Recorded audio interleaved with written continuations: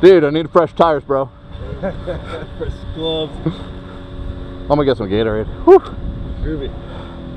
I'll drink some too. You're welcome.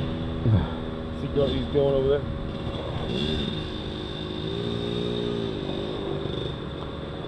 I did that. Uh,